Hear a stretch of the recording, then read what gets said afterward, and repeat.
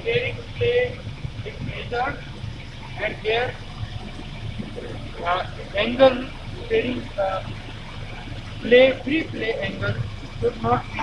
more than 30 percent. 30 degrees sorry, 30 degrees this angular movement through free play we also see here in the free play steering that should also have it should not be more than 30 degree. It means if it is beyond that